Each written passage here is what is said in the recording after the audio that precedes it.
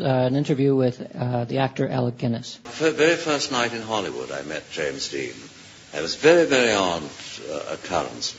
Um, I'd arrived off the plane, those were, you know, took a long time in those days, about 16 hours flight.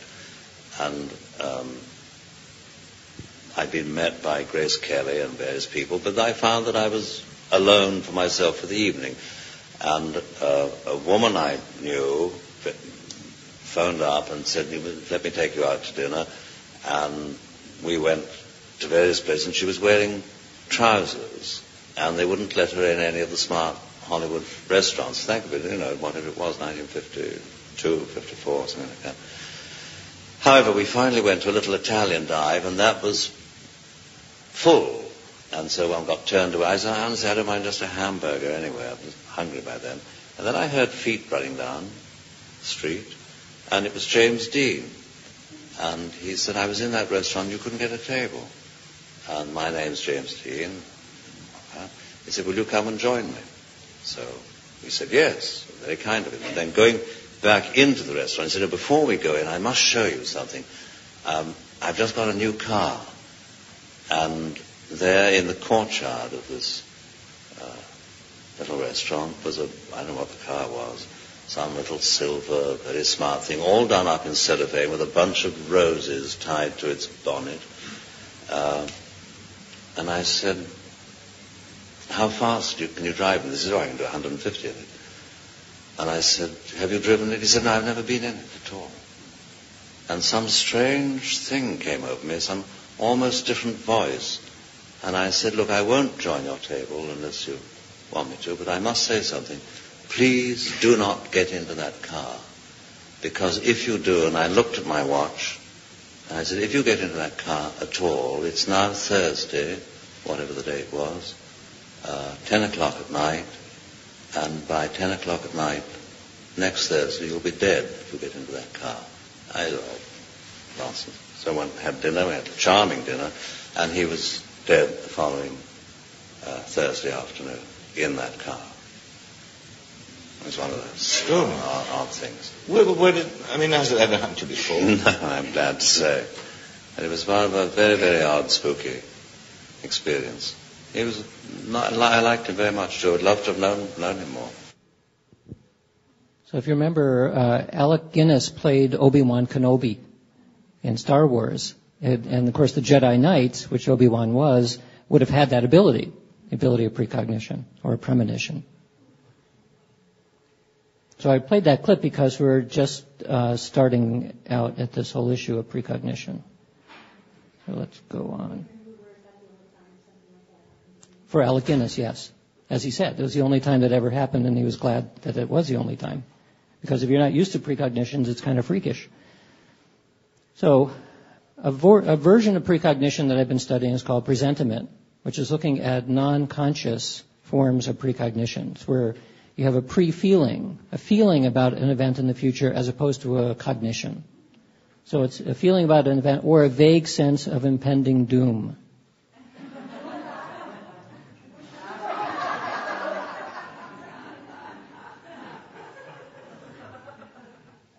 Doesn't that little dog look sad?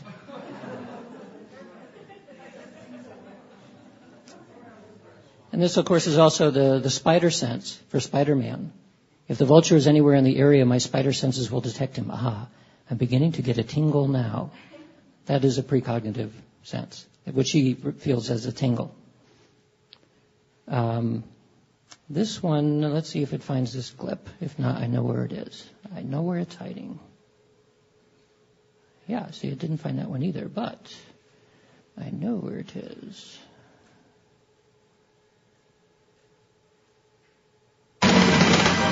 The unexplained aptitude of the few is difficult to clearly define, but its effect is borne out by hard data.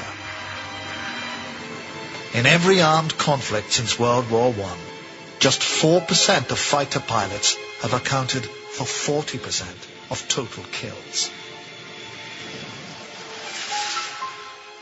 These superpilots reportedly have uncannily accurate powers of anticipation. The military call this exceptional situational awareness. But it might be that some pilots are simply able to exploit the precognitive abilities that we, perhaps, might all possess. Some pilots have an innate ability to do this better than others. Whether you call that prediction or projection, I, I don't know what it is. I'd like to I'd like to think it was based on training, but there are some pilots who are innately better fighter pilots than others.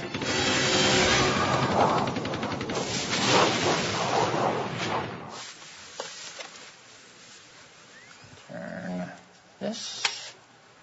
Dr. Dean Radin is hoping that he can prove that what the pilots call prediction could in fact be precognition, a real ability to actually sense the future.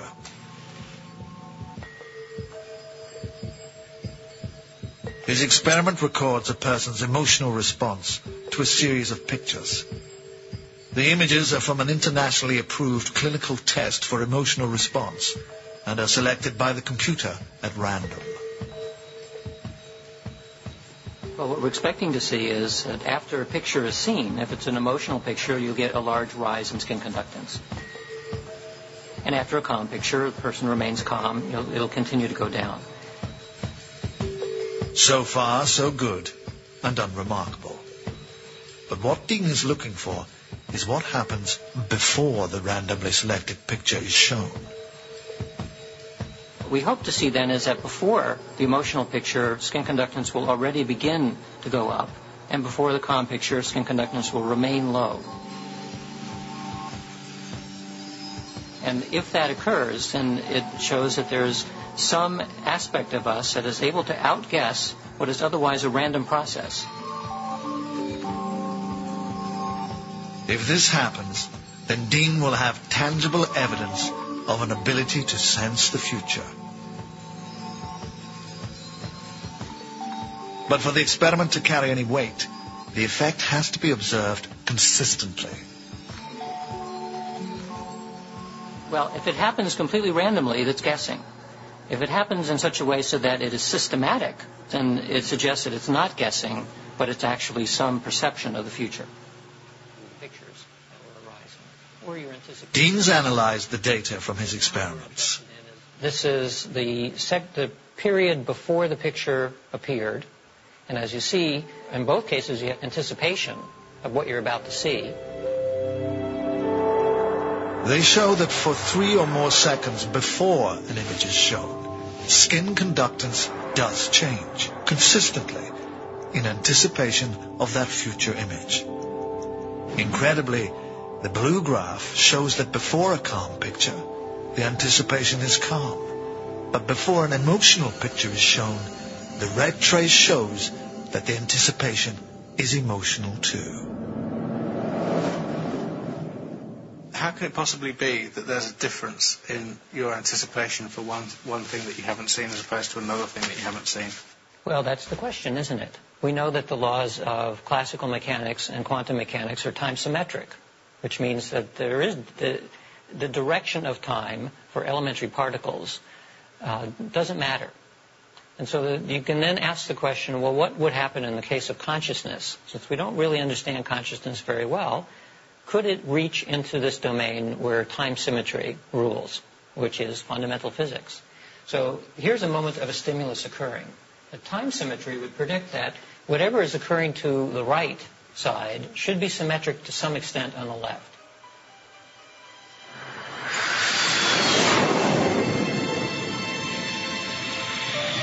If time symmetry really does affect our experience of reality, then Dean might have provided an explanation for exceptional pilots.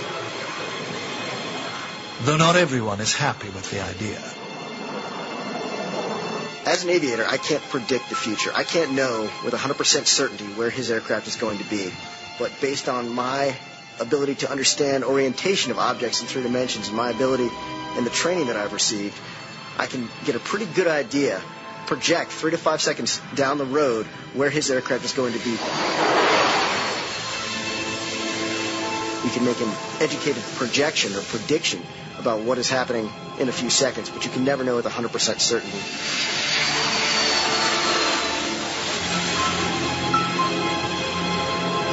We have access to our future, at least to the near-term future. And by having access, I mean that we're gaining information from our future and it influences our present.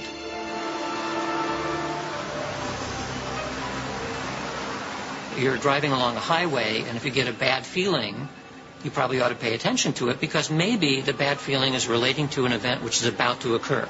And if you make the wrong decision on the highway, you could end up dead.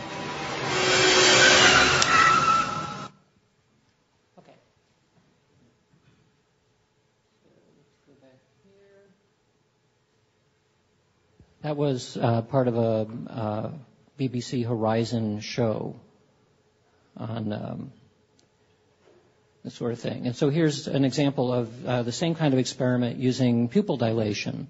Uh, again, these are all unconscious reactions to what's about to unfold. So here's uh, IONS staff member, and that was named, uh, or is named Celeste, uh, and using an eye tracker where we can see her pupil and measure her pupil 60 times a second.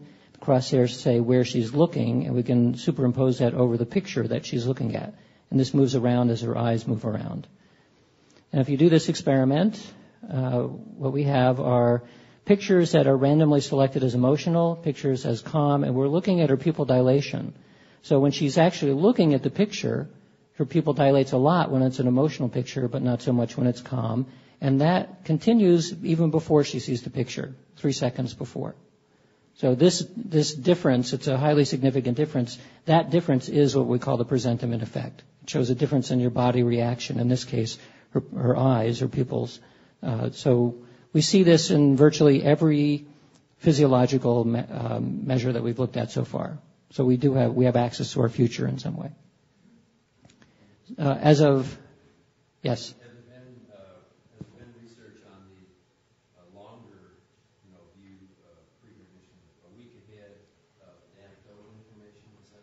Is there research on longer term precognitions? The answer is yes, mostly with precognitive remote viewing experiments which have been done out to many, many months.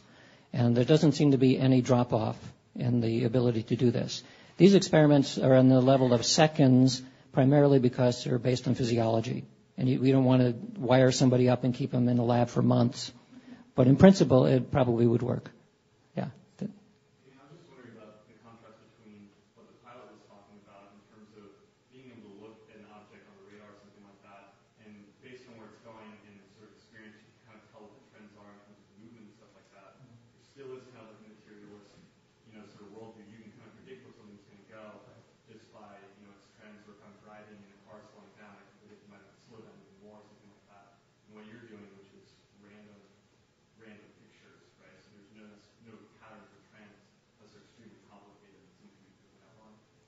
Right. So the, the experiments that I'm, that I'm doing are not, you're not able to infer what the future is. What the pilot was talking about is uh, simply by knowing the way that, that combat is done in airplanes, you can kind of guess that the airplane's going to end up over there 30 seconds.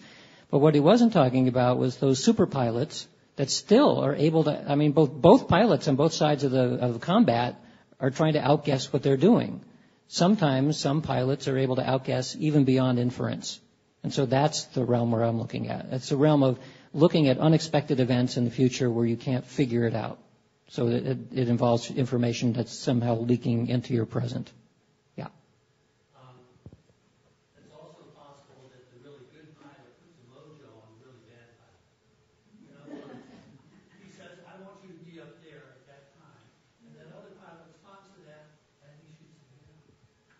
Yeah. The, the,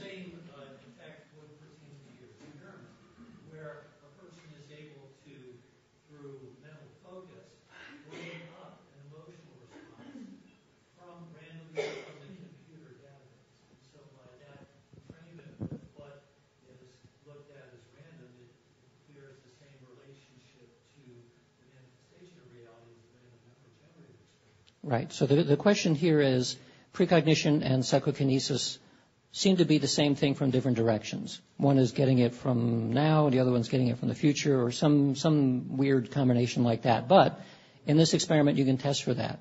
So in the, the, the experiments involving pictures like this, there's a class of the pictures which are, are the emotionally arousing pictures, which are erotic. Most people, while they may not want to admit it in public, they like to look at those pictures.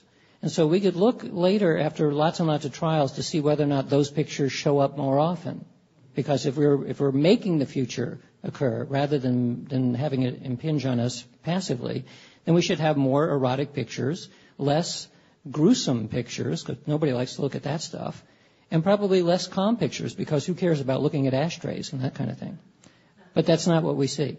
In this experiment, you get the, actually the, uh, the distribution of targets that you'd expect by chance. So at least in this version of the experiment, you don't find any systematic influencing of what you see. That's a, a, a good control. I have one other question about it, though. Um, have you uh, analyzed it in terms of the interval uh, prior to um, the picture being displayed and how that initial uh, upswing of response relates to the breath? In other words, what I'm thinking of, if the heart is a perceptual organ, as the HeartMath people many others say, then uh, you might be able to find, particularly in the case of a coherent person who has a trained heart with breath, you might be able to find a greater um, uh, responsibility. So has that been? Well, heart, heart rate has been looked at. And of course, the uh, Rollin McCraty might talk about that. I'm not sure at this conference. But yeah, so heart rate shows a deceleration before the emotional pictures, which is consistent with what you'd expect for an emotion. We've also looked at um, EEG, pupillary dilation, skin conductance, most of those things, but not respiration yet. And the reason why res- respiration is not so good for a physiological measure here is because it's too slow. So it may well be that there's a hesitation in respiration. There could be a change in some way, which is reflected by all the other parameters, but we just haven't looked at it yet. It fits in with the time frame, you know, the three second in advance awareness, and that fits in with the Vedic uh, perception of breath being the creator. I see. Oh, that's a good, that, that's interesting, yeah. You had a question? No, the, the interval seems to reflect the time it takes to respond after seeing the stimulus. So for skin conductance, it takes about three seconds to see a response. So you look, we get the effect three seconds before. In the brain, not so much with the picture, but more with the, the physiology that we're looking at. So it may be the case that respiration changes, but it might change 15 seconds before because it, their, our breath rate is pretty slow. Brain waves change about one second because they're just faster moving uh, phenomena. Uh, the gut response is roughly 30 second cycles and it's, it responds, but a lot slower. So we're, we're dealing with different, uh, different physiological parameters that have different phases in them, different time scales. And that, so I don't, there's nothing magic about three seconds. It just happens to be a convenience in, the, in this type of experiment. Yes. Um, fascinating.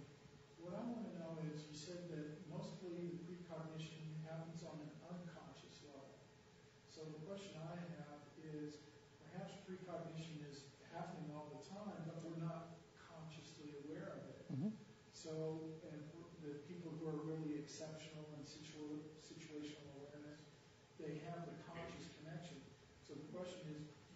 know of a way to increase the conscious awareness of what's happening in our unconscious mind? So it is probably true that we're all psychic all the time. Uh, our bodies certainly show that in the laboratory. Some people who are talented are the ones who are able to bring it to consciousness at will. Uh, Rollin and me are working on uh, development of a product for intuition training, specifically based on this presentiment effect. Uh, Rollin actually patented the use of this kind of phenomena for use in intuition training. So we're working together on a product that hopefully will do that.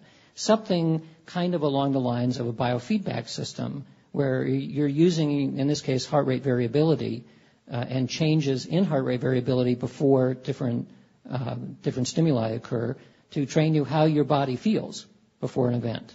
And so that we hope will go into that direction. So, yeah. Yes?